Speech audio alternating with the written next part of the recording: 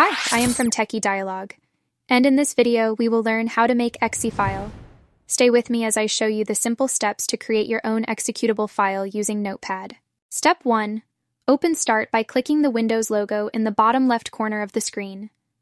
Type Notepad into Start to search your computer for the Notepad app, then click on Notepad, which is a blue and white notebook-shaped icon at the top of the Start window. Step 2. Enter your exe's program code into Notepad. You can type the code one line at a time or copy and paste it if you already have it prepared on your computer.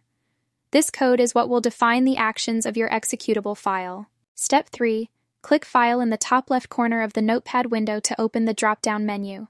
Then select Save As. Choose a location to save the file.